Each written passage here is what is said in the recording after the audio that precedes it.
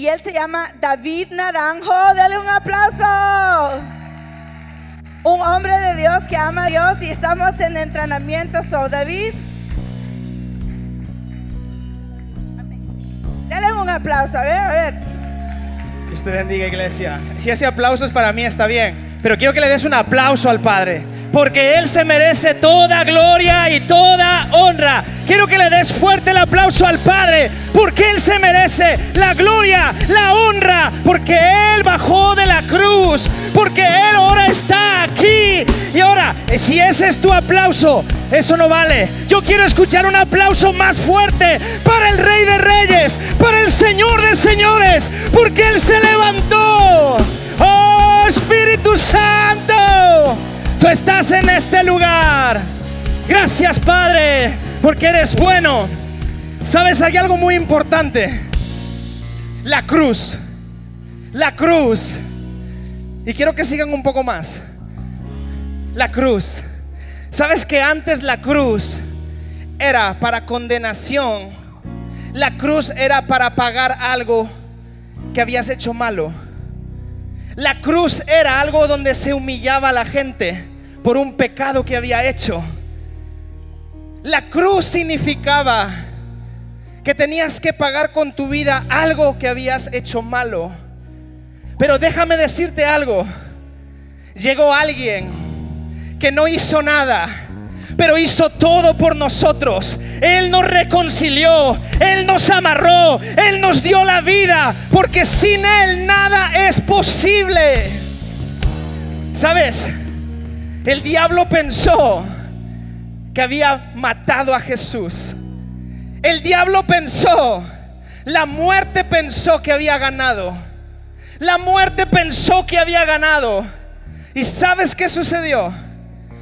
Dice la Biblia que habían guardias que cuidaban la entrada de la tumba de Jesús.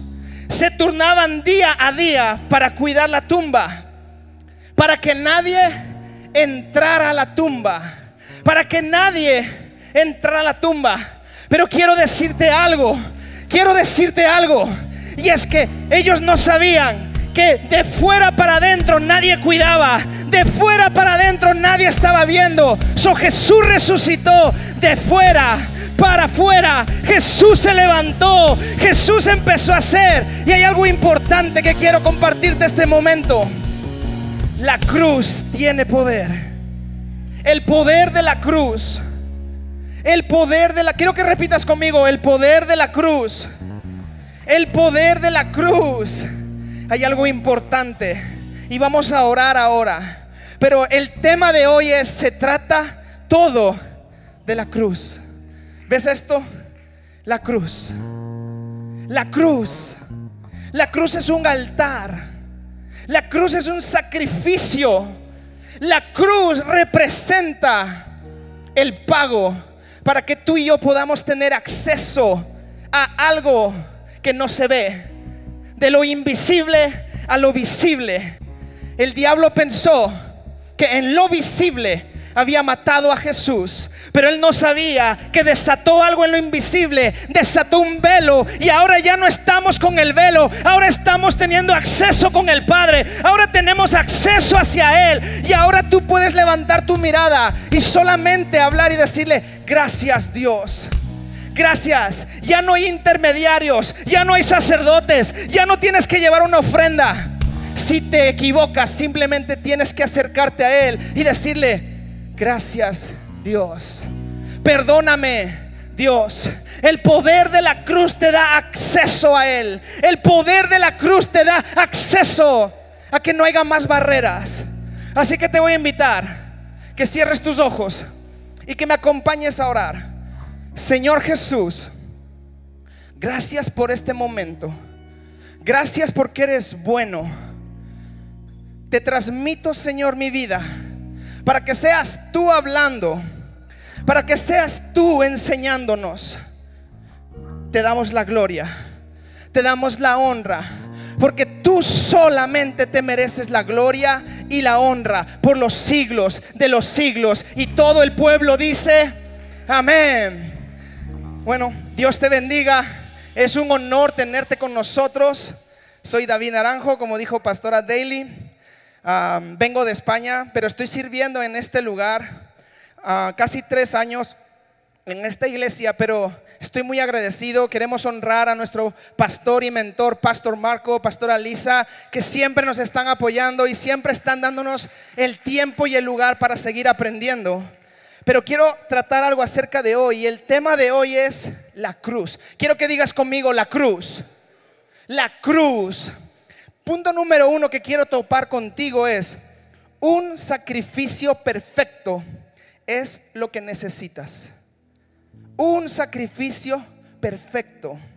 Y vamos a nuestra primera escritura en Hebreos capítulo 10 versículo del 11 al 14. Hebreos capítulo 10, del 11 al 14 dice, bajo el antiguo pacto, el sacerdote oficia de pie delante del altar. Quiero que digas conmigo altar. Día tras día, ofreciendo los mismos sacrificios una y otra vez ofreciendo los mismos sacrificios una y otra vez, los cuales nunca pueden quitar los pecados. Versículo 12 dice, pero nuestro sumo sacerdote, ¿quién es nuestro sumo sacerdote? ¿Quién es nuestro sumo sacerdote? Él se ofreció a sí mismo, a Dios, con un solo sacrificio por todos los pecados que nosotros hicimos. Válido para siempre. Luego se sentó en un lugar de honor a la derecha de Dios. Allí espera hasta que sus enemigos sean humillados y puestos por debajo de sus pies. Pues mediante esa única ofrenda, Él perfeccionó para siempre a los que estaban haciendo santos. Él te perfecciona.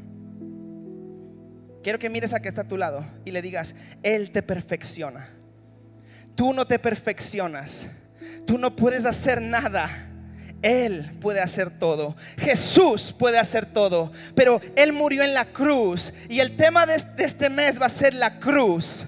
Y quiero que me acompañes a Isaías capítulo 53, versículo 6. Y dice, todos nosotros, todos nosotros nos hemos extraviado como ovejas hemos dejado los caminos de Dios para seguir los nuestros.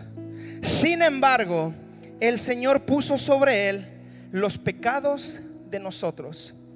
Todo el mal que había en la tierra, Jesús lo llevó por nosotros. Todos los pecados que había, Jesús se subió a una cruz para tomarlos y ahora poder tener acceso libre al trono de la gracia. Romanos capítulo 8, versículo 32 dice, si Dios no se guardó ni a su propio Hijo, sino que lo entregó por todos nosotros, ¿no nos dará también todo lo demás? ¿Cuántos de ustedes piensan y dicen, Dios no me puede dar nada? ¿Cuántos de ustedes piensan, mi vida se acabó porque no tengo nada? Dios te dio lo que más amaba, su hijo. Dios te dio lo que más amaba y fue su único hijo. Él no te dio a los 10 mil millones de hijos, no. Él, la palabra dice que él tenía su único hijo, el que amaba, el que estaba perfecto. Juan capítulo 1 dice que la palabra existía con Dios, era Dios y era con Dios también. Pero él dice que un momento esa palabra se hizo carne, la palabra que le dio vida a todo lo que Dios creó, bajó a esta tierra hecho hombre. ¿Sabes? Él era rico. ¿Cuántos piensan que Jesús era rico en el cielo? Una persona. ¿Cuántos piensan que Jesús era rico en el cielo? ¿Sabes lo que dice la Biblia? Él se hizo pobre para que tú fueras rico. Él se hizo pobre, bajó a esta tierra para que ahora tú tuvieras riquezas en el cielo a través de la cruz. A través de la cruz tú puedes tener acceso a esas riquezas. Quiero que me acompañes a Lucas capítulo 23, versículo 39 al 43. Lucas capítulo 23, 39 al 43. Dice así, y uno de los malhechores o uno de los ladrones que estaban colgados, ¿en dónde estaban colgados? En la cruz. Di conmigo, la cruz. Estaban colgados malhechores en la cruz. Y uno de los malhechores o uno de los ladrones le dijo, si tú eres el Cristo, sálvate a ti y, y a nosotros. ¿De qué te recuerda esta palabra? Si tú eres el Hijo de Dios. ¿Se recuerdan? ¿Qué pasa en la tentación de Jesús? Si tú eres el Hijo, ¿quién estaba hablando? Satanás. ¿Quién estaba hablando a través del hombre que estaba crucificado? Satanás. ¿Quieres que te diga algo? Satanás va a utilizar personas que están cerca tuya para tratar de confundirte. Satanás va a utilizar la boca de personas para confundirte. Si tú eres el Hijo de Dios. ¿Jesús sabía que era el Hijo? Sí sabía. Estuvo en el templo, en la sinagoga, entró y dijo, yo soy el Cristo. Yo soy el Hijo de Dios. Él sabía la identidad, pero Satanás sabía que algo iba a suceder en la cruz y hasta el último momento quiso frenar para lo que fue llamado Jesús. En un momento le dijo, si tú eres el Hijo de Dios, sálvate a ti y a nosotros. Pero algo pasa en el versículo 40. Quiero que me acompañes al versículo 40. Lucas 29, 40. Respondiendo el otro. ¿Quién era el otro? El otro ladrón con la misma condición, con el mismo pecado, con la misma condenación, con el mismo precio a pagar. Dice, ni aún temes tú a Dios estando en la misma circunstancia o condenación que Él. 41. Nosotros a la verdad justamente padecemos porque recibimos lo que merecieron nuestros hechos. Mas este no hizo mal alguno. 42. Y dijo Jesús, y le dijo a Jesús, acuérdate de mí cuando vengas en tu reino. ¿Quién le indicó a este hombre todo lo que acaba de hablar? ¿Quién le indicó a este hombre que Jesús iba a venir con su reino a por su iglesia? ¿Quién le indicó a este hombre? La cruz te trae la sobrenaturalidad. La cruz te trae la revelación divina. La cruz te trae sabiduría que viene del cielo. Te hago una pregunta.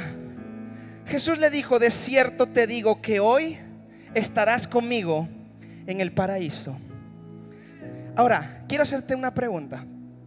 ¿Cómo encaja este ladrón en la cruz en tu entendimiento? ¿Cómo encaja esta persona en tu entendimiento? Te voy a ayudar. El ladrón no se había bautizado. El ladrón no había tomado la primera comunión. El ladrón no hablaba en lenguas. El ladrón no había viajado hacer viajes misioneros. El ladrón no era voluntario de The Wayward Outreach. El ladrón no recibía regalos financieros. No venía con la mejor ropa a la iglesia. Ni siquiera podía doblar sus rodillas delante de Jesús. Ni siquiera podía postrarse delante de Él. Él no hizo la oración del pecador. Él no hizo y dijo, me arrepiento de mis pecados. Entre otras cosas, él era un ladrón. Había pecado y juicio contra él. Jesús no tomó su dolor. Jesús no sanó su cuerpo. Jesús no golpeó a sus enemigos.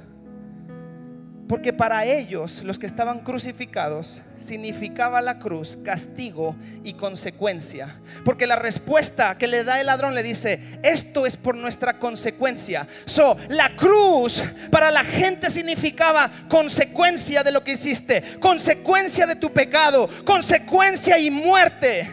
Pero ¿qué significaba para, para Jesús la cruz? ¿Qué significaba para Jesús? Vida. Significaba camino, significaba verdad, significaba reino. So, la cruz te está diciendo que lo que tú estás viendo no es para crucificarte por tu pecado, sino para salvarte de él, para librarte del mal, para librarte de todo lo que está pasando a través del poder de la cruz. Puedes acceder a él. Sin embargo, solo un ladrón fue al paraíso a la misma hora que Jesús, simplemente creyendo. Déjame decirte esto, simplemente creyendo. ¿Qué dice la Biblia? Al que cree, todo le es posible. Al que cree, todo le es posible. Si tú crees, todo te va a ser posible. El ladrón no tenía nada más que ofrecer, aparte solamente creer. Si eras Jesús, él sabía que era Jesús. Él no tenía palabras brillantes. Él no tenía ego ni arrogancia. No había luces brillantes. No había hermosos outfits. No había palabras discretas ni astutas. No había una máquina que sale humo y nos puede ver bonito. No había un escenario. Era el peor escenario de muerte. Era el peor escenario donde una persona podía estar. No había un café atrás en, en, backstage por si estás mal de la garganta. No había nada de eso. Solo había un cuerpo medio moribundo, desnudo, en una cruz, que ni siquiera podía cruzar las manos para orar. Solo estaba crucificado. Solo estaba ahí. ¿Tú te imaginas? A veces nosotros marcamos demasiadas cosas así, así, así y así tienes que acceder. Y cuidado con esto, cuidado con aquello, cuidado. La religión te dice qué hacer, pero la relación te enseña quién es el que creó la ley. Muchas veces seguimos la ley, pero no seguimos a quien creó la ley. Muchas veces solamente escuchamos la ley, pero no seguimos a quien creó la ley. La cruz me indica relación.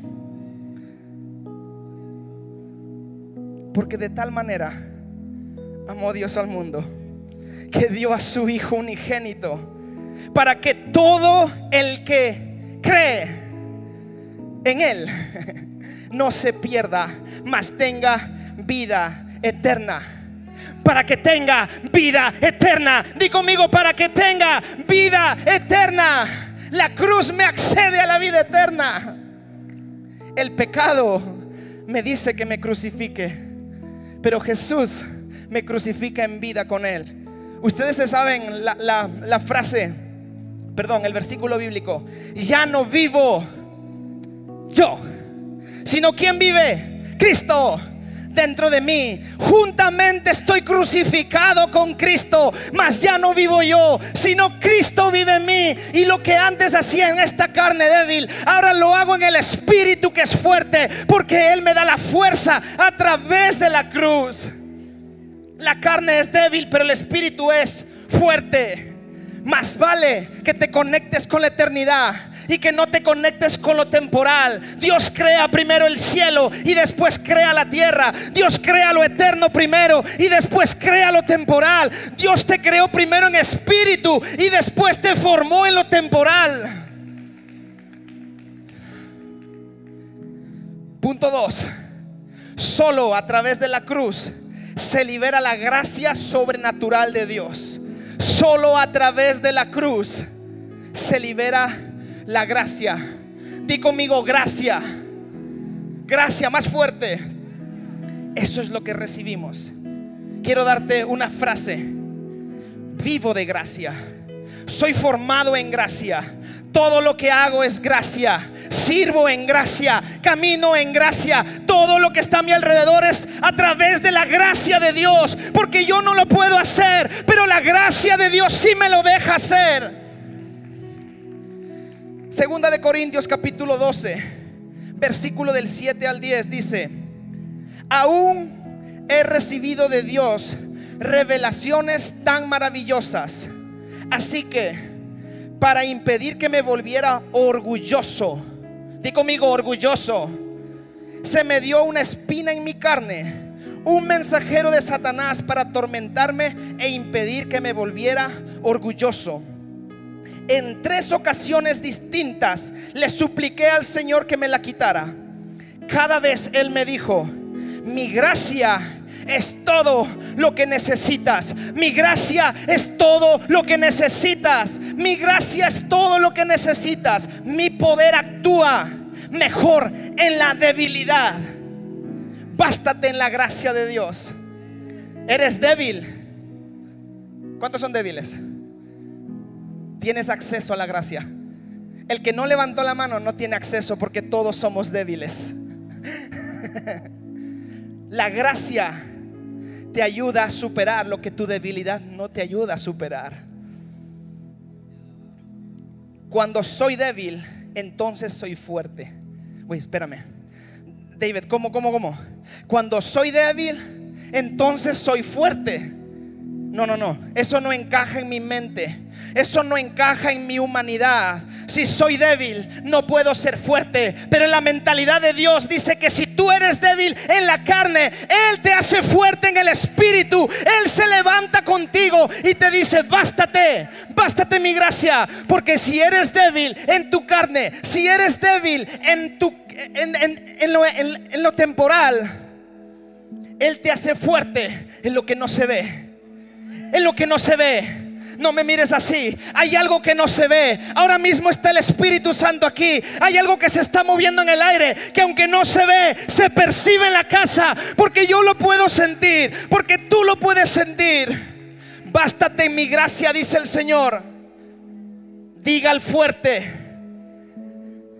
¿Ah? Diga el débil. Fuerte soy. ¿Sabe qué significa? Que mi carne diga y hable mi espíritu. Yo soy espíritu y después carne. Yo soy espíritu y después carne. Mi espíritu está fuerte. Puedo pasar tribulaciones. Puedo pasar cualquier cosa. Me puedo estar muriendo. Puede venir una enfermedad, pero es temporal. Si estás conectado a la eternidad, todo es posible. Punto número tres el mensaje de la cruz es el único mensaje que Dios da su confirmación mediante la liberación de señales y prodigios sobrenaturales. Primera de Corintios capítulo 2, versículo 4 dice, y mi palabra y mi predicación no fueron con palabras persuasivas de humana sabiduría, sino con demostración del Espíritu y de poder, para que vuestra fe no está en la sabiduría de hombres, sino en el poder de Dios. Tu sabiduría no puede estar centrada en un hombre, sino tiene que estar centrada en el poder de Dios, que Él te puede ayudar en todo.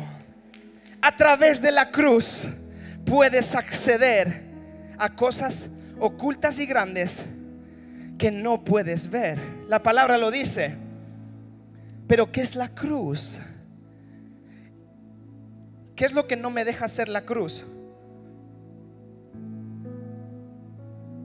¿Qué es lo que no me deja hacer? Puedo mirar para la izquierda, puedo mirar para la derecha, puedo mirar para arriba, pero ¿a dónde es el único punto donde no puedo mirar? ¿Para dónde? Para atrás. Juntamente estoy con Cristo crucificado y ya no vivo en lo que el pasado me hacía mirar atrás, sino ahora vivo mirando enfrente, porque ya no vivo yo, sino Cristo vive en ti. Y lo que antes hacías en la carne, ahora lo estás haciendo a través del Espíritu. Bástate, bástate en su gracia. La gracia me hace estar aquí, pero no es un castigo la cruz. La cruz no es algo que me castiga. La cruz me libra, la cruz me da poder, la cruz me libra de la muerte. El enemigo pensaba que crucificando, que humillando a Jesús, estaba todo listo, pero él no sabía que iba a resucitar. Punto número cuatro. La cruz es la única razón de la derrota total de Satanás. ¿Cuántos creen eso? ¿Cuántos creen que la cruz es el punto donde Satanás murió? ¿Cuántos creen que la muerte fue vencida en la cruz del Calvario a través de alguien que bajó siendo rico, se convirtió pobre y volvió siendo rico en gloria? Algo que tienes que entender. No puedes entrar en la tierra prometida con los mismos hábitos que vivías en Egipto. No puedes vivir, no puedes pensar entrar en la tierra prometida si sigues usando tus mismos hábitos que la vieja vida. Porque ya Cristo murió por ti aquí y ya no vivo yo. Ya no puedo mirar para Egipto. Ahora tengo que mirar la tierra prometida. Ahora tengo que andar en la promesa. Ahora tengo que levantarme y solamente declarar lo que el Padre tiene para mí. Quiero que mires a tu vecino y diga, Dios tiene cosas para mí. Mira para el otro lado y dile, Dios tiene cosas para mí a través de la cruz. A través de la cruz. La cruz derrotó a la muerte. Quiero que escuches esto. Escribí en mis notas. Antes tenía miedo a la muerte. Pero ahora la muerte me tiene miedo a mí. Porque vivo en Cristo. Porque me levanté. Y ahora cualquier circunstancia ya no sirve. Porque ahora Cristo vive en mí. Ahora la muerte sale corriendo. Antes vivíamos en muerte. Los evangelios nos dicen que antes éramos esclavos del temor. Antes éramos esclavos. Pero ahora, a través de la paternidad, a través de que su hijo murió en la cruz, puedo clamar conmigo, Abba Padre. Di conmigo, Abba Padre. No, más fuerte, Abba Padre. Abba Padre. Eso es lo que tenemos que decir. Porque ya no hay nada que nos divide. Jesús es el camino. Jesús es la vida. Jesús es la verdad. Nadie puede acceder al Padre si no es a través de Jesús. Pero Él tuvo que bajar por ti y por mí. Por todos los pecados. Sabes, el primer hombre que, que pecó fue Adán y perdió su autoridad. ¿Sabes que Adán recibió las llaves de la tierra? ¿Sabes que Adán en Génesis capítulo 1 dice que le fueron dado autoridad y dominio sobre todo lo que estaba en la tierra? Se le entregó unas llaves del reino. ¿A quién fue a tentar Satanás? ¿Al hombre o a la mujer? A la mujer. Pero, pero Dios habló a quién? ¿Al hombre o a la mujer? Al hombre, ¿correcto? La, serpiente le dice a la mujer, así que ha dicho Dios, que si comes de esta planta, ustedes morirán. No es verdad, Eva. Ustedes serán como Dios. La pregunta es, ¿no eran ya como Dios? ¿No habían sido creados como Dios? Ten cuidado con la duda. Ten cuidado cuando Satanás habla. Porque lo primero que hace es meterte duda. ¿Sabes qué pasó? Ella, Eva dice, sí, es verdad, me convenció la serpiente. Pero tres versículos antes dice la palabra, la serpiente era el ser más astuto que estaba en el Edén. Cuidado, cuidado, cuidado con quien hablas, que puede ser astuto y puede convencerte de algo, que puedas perder la cruz, que puedas perder la conexión. Ten cuidado. Eva comió. Vamos a hacer corta la historia, todos lo sabemos. ¿Te has preguntado dónde estaba Adán? Hay mucho silencio. Cuando la serpiente habla es que el hombre calla. Pero cuando el hombre habla, la serpiente tiene que callar. Te vuelvo a repetir, la serpiente habló porque Adán estaba callado. Pero yo quiero decirte algo, y esto es para los hombres. ¿Cuántos hombres hay aquí? Quiero que levantes tu mano. No dejes que la serpiente hable en tu casa. No dejes que la serpiente hable en tu matrimonio. No dejes que la serpiente hable cosas. Mejor habla para que la serpiente esté callada, para que la voz del engaño esté callada. Amén. La buena noticia es que Jesús recuperó las llaves. Oh, dos personas se emocionaron. La buena noticia es que Jesús recuperó las llaves. Sabes, en la tentación de Jesús, el diablo buscaba hacerle un shortcut, un, un atajo a Jesús. En la segunda tentación le dice, si te postras, te voy a llevar al lugar más alto. ¿De dónde? De la tierra, de las naciones. Yo te daré las llaves si me adoras. Satanás sabía que él iba a ir aquí a recuperar las llaves de todos nosotros. Pero Satanás quería ayudarle a Jesús. Vente, yo te lo voy a hacer fácil. Adórame y te entregaré las llaves, te entregaré los reinos. Pero Jesús dijo, ay, no, no, no, no, escrito está. Porque la palabra tiene vida y vida en abundancia. La cruz me hace recuperar el gobierno. La cruz me hace recuperar la autoridad. La cruz me hace recuperar lo que Dios dijo que yo hiciera. Romanos capítulo 5, versículo 18. Así es, dice la palabra. Un solo pecado de Adán trae condenación para todos. Pero un solo acto de justicia de Cristo trae relación correcta con Dios y vida para todos. Un pecado nos hace a todos pecadores. Pero un hombre que muere nos libra a todos otra vez. Porque ese es Jesús que bajó de la cruz y la cruz trae vida.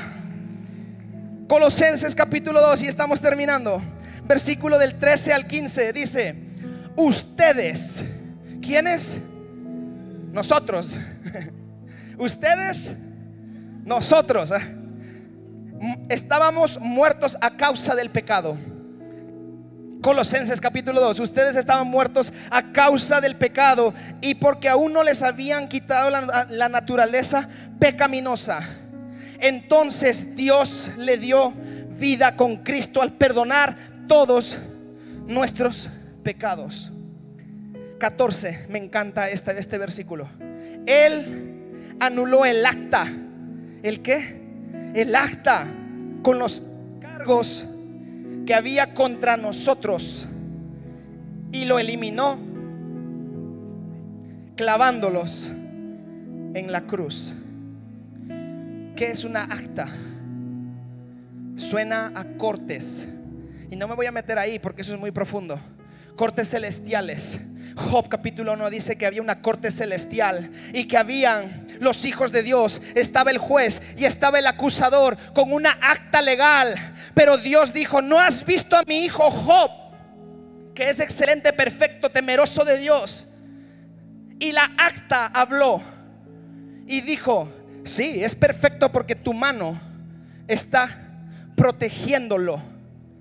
Quita tu mano Satanás tiene que pedir permiso para tocarte. Satanás reconoce que la mano de Dios está sobre tu vida y que no te puede tocar porque Él me libró a través de la cruz y ahora ya no vivo yo, sino Cristo vive dentro de mí. Dios ha puesto a tu disposición una respuesta para destruir la culpa. Dios ha puesto una respuesta. Es la herramienta número uno que Satanás usa para que te olvides de la cruz. La culpa. La culpabilidad. A lo mejor hoy te sientes depresivo. A lo mejor hoy te sientes angustiado. A lo mejor hoy te sientes que no puedes más. A lo mejor hay alguna enfermedad que te está tocando por tus fuerzas ya no puedes. Por tus fuerzas ya no puedes. Eso se llama debilidad. Pero te acuerdas el versículo que dice que a través de la gracia tú vas a poder hacer fuerte en tu debilidad. So, si hoy tienes algo, Dios va a cambiarlo. Dios va a transformar. Punto número 5. Solo la cruz te da acceso a la sabiduría oculta de Dios.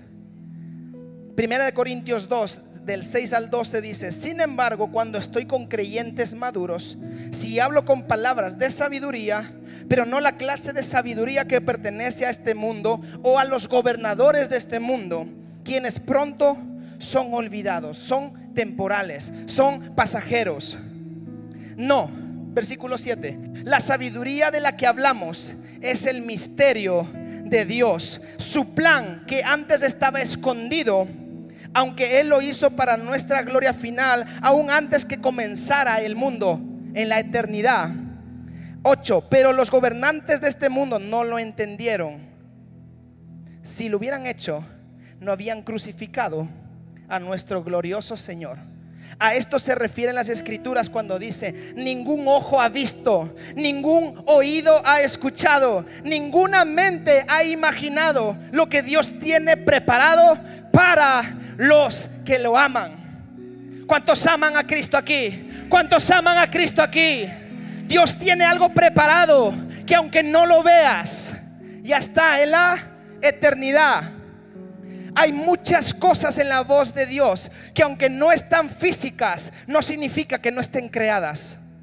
Hay muchas cosas en la voz de Dios que ya están dispuestas para ti, pero tienes que acceder a lo eterno, agarrarlo y traerlo de lo invisible a lo visible. Tú tienes que acceder y tienes que decir, eso es para mí, no importa la circunstancia. Todo bajo el sol es vanidad, todo bajo el sol es temporal, pero lo que Dios tiene arriba es eterno. Tu llamado está en la cruz, tu llamado está aquí, tu familia está aquí. Dios tiene cosas grandes y hermosas. Por eso, ¿sabes qué importantes somos para Dios? Que mandó a su Hijo. Ni los ángeles, ni los espíritus, ni potestades, ni huestes espirituales fueron creados a la imagen de Dios. Somos los únicos seres que fuimos creados a su imagen y semejanza. ¿Sabes que vivimos en dos dimensiones? La cruz te hace acceder a una dimensión que no ves.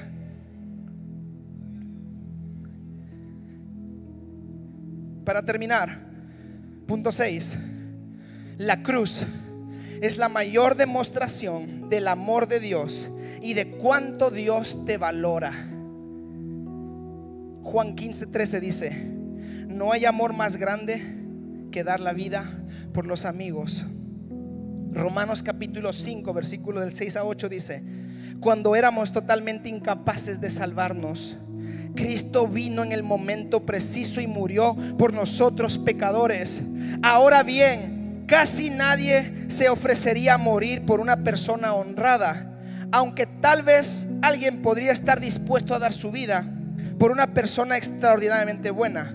Pero Dios, versículo 8, pero Dios mostró el gran amor que nos tiene al enviar a Cristo a morir por nosotros cuando todavía éramos pecadores. Quiero que te pongas de pie.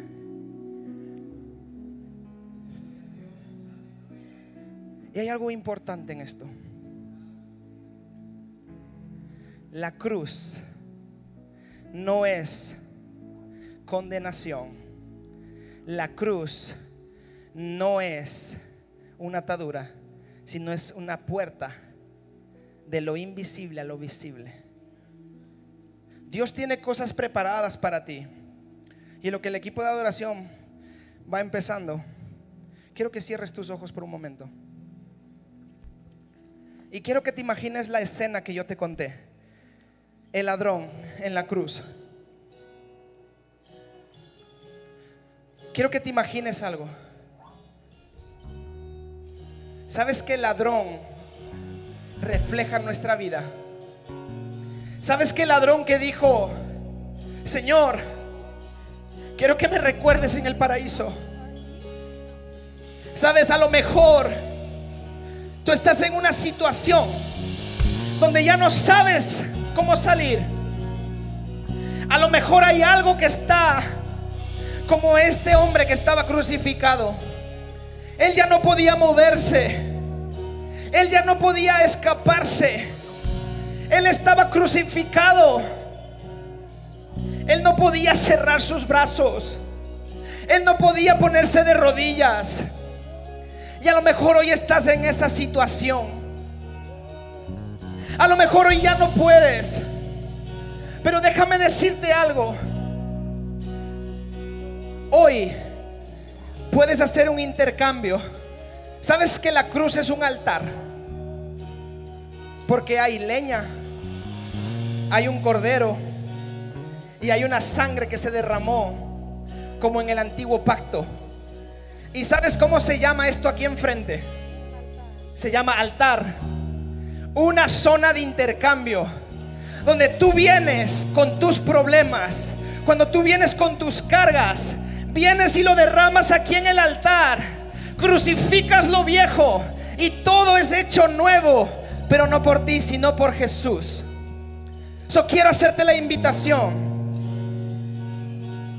Hablo a las personas que no han conocido a Cristo. Hablo a las personas que no han conocido lo que es el amor verdadero. Hablo a personas que no han entrado en un contacto con Jesús. Sabes, Jesús me levantó de la muerte a mí. Yo siempre lo he contado. En 2017 me dio un derrame cerebral en San Francisco. 75% de parálisis donde tú ves no podía caminar. Los doctores determinaron que yo iba a estar acostado en una cama para el resto de mi vida. Pero me acerqué a la cruz. Me acerqué a la cruz. Y le dije, Dios, aquí estoy una vez más. Y ahora quiero hacer el llamado. Si estás cansado, si ya no puedes, las personas que no han conocido a Dios y quieren conocer hoy a Jesús, cuando cuente tres, quiero que levantes tu mano. Quiero presentarte relación con Dios. Estamos cansados de religión. Estamos cansados de escuchar religión y de que hay un Dios lejano. Quiero presentarte una relación con el Padre. Si quieres conocer lo que Jesús hizo conmigo y lo puede hacer contigo, quiero que levantes tus manos cuando cuente tres. Dios te va a ayudar. Dios te va a proteger. Jesús va a venir a tu vida y va a ser una revolución en tu vida. So, cuando yo cuente tres, quiero que levantes tus manos. Uno, Dios va a ayudarte. Dios va a bendecirte. Dios va a cuidarte. Dos, Dios te va a librar de todo lo que está pasando. Uno, dos, tres. Levanta tu mano quien quiera aceptar a Cristo. Veo manos allí. Veo manos atrás. Uno, dos, tres, cuatro, cinco, seis, siete, ocho personas. Nueve, diez. Oh Espíritu Santo. Todas las personas que levantaron su mano. Quiero que me hagan el favor y danos el honor de poder orar por ti. Quiero que pases aquí enfrente. Hoy Jesús va a hacer un intercambio en el altar. Y mientras vas viniendo, no tengas vergüenza. Ven, sal, queremos presentarte. Hay algo importante que quiero que entiendas.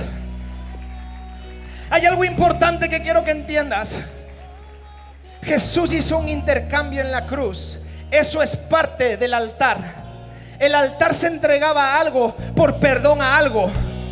El altar se ponía un animal para que los pecados fueran removidos.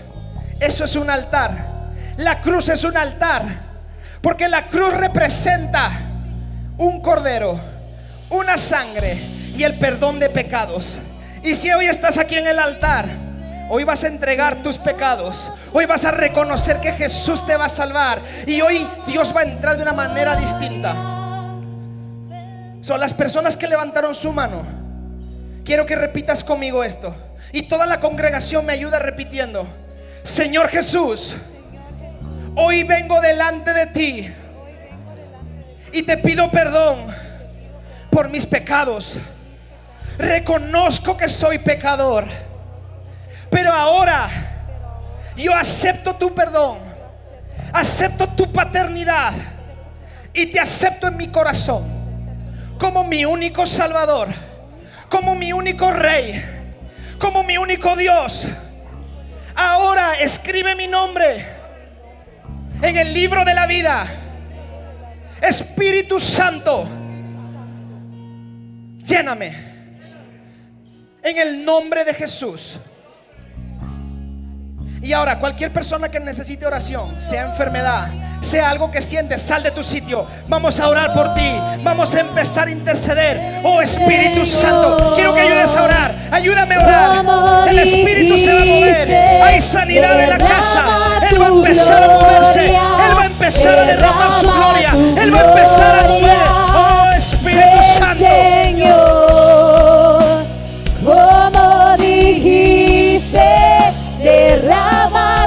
Gloria, derrama tu gloria, ven Señor,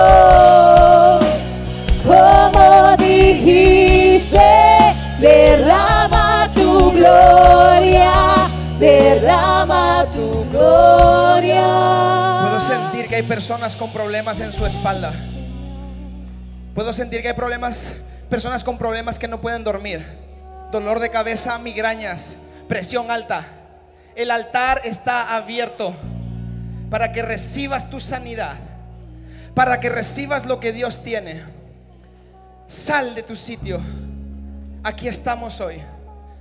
No estamos delante de hombres, estamos delante del creador del universo, que el que te puede sanar en un instante.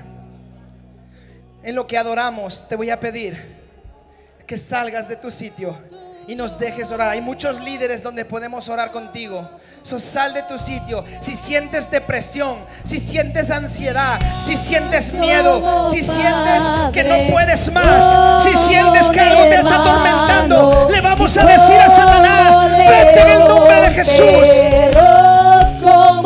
Espíritu Santo, ahora papá, Urracataya, Sicatama,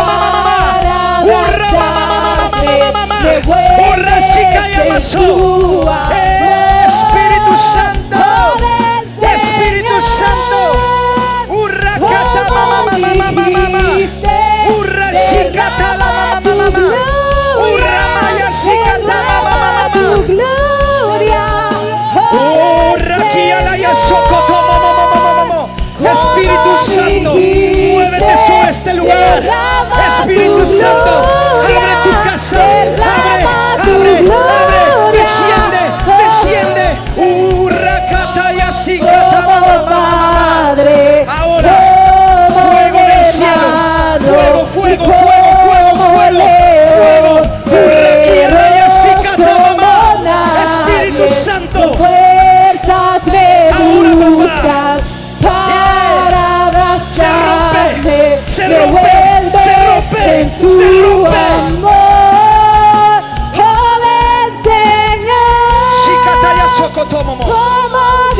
Espíritu Santo. Espíritu Santo, cancelamos toda obra de Satanás ahora en el nombre de Jesús. Cancelamos toda obra de Satanás ahora. Escúchame bien, Satanás. No tienes la autoridad para venir y tocar los cuerpos. Ahora desciende sobre este lugar. Espíritu de gracia. Espíritu Santo, muévete sobre este lugar. Rakataya shikata mama mama. Yo y mi casa serviremos al Señor. Yo y mi casa serviremos a Jehová. Y ahora abrimos la puerta del cielo. Jacob dijo, es la puerta del cielo que conecta la tierra. Oh, raza maquia. Oh, Espíritu Santo. Como Vamos, levanta tu mano. Empieza a derrama Empieza a gloria, Empieza a derrama El cielo, el cielo, el cielo sobre este lugar. Señor,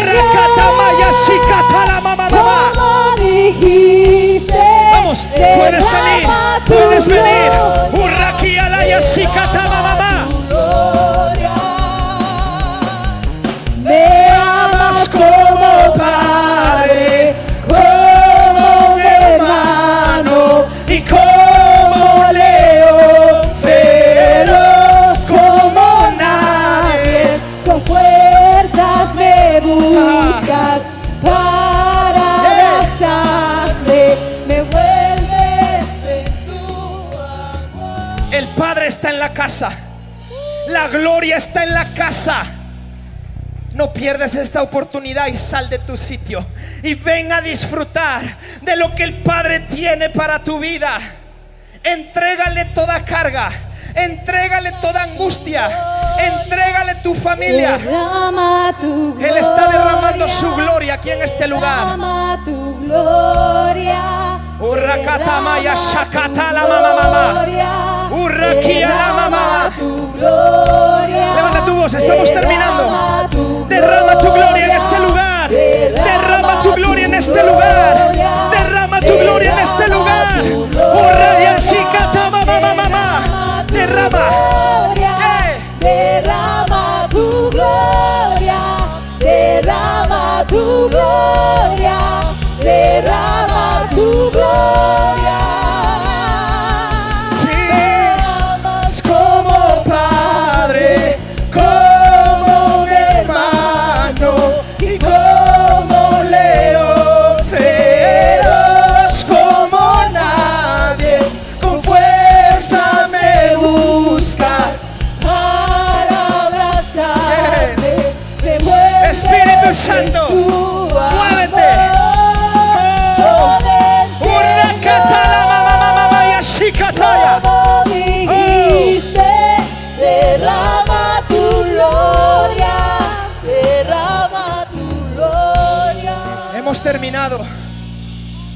En tiempo.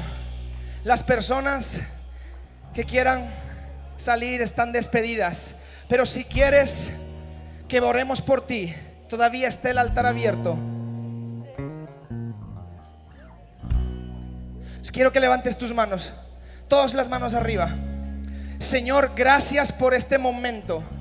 Señor, gracias por este tiempo. Eh, damos por terminada esta reunión, pero seguimos conectados en el Espíritu contigo. Yo bendigo a cada persona que está en este lugar. Yo bendigo a cada persona, familia, integrante. Gracias por este tiempo. Recibe toda gloria y toda honra en el nombre de Jesús. Amén. Si necesitas oración, todavía estamos, pero puedes retirarte por la parte izquierda